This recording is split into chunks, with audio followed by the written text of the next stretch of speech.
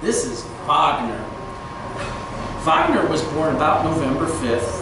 We, we don't know what he is. We're guessing like he's got some retriever and maybe some lab, but he's oh so soft. Let's see those feet. We got some webbed feet there. Okay, he's a beautiful dog.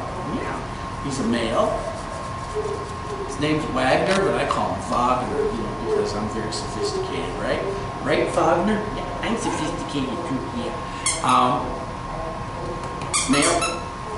and Wagner needs a home, hopefully with music.